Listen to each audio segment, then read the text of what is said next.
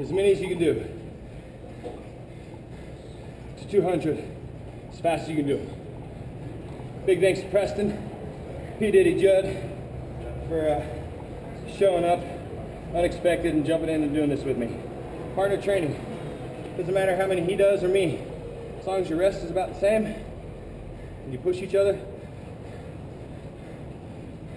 it's pretty good workout in about half an hour, 20 minutes. I don't even know what it was yet.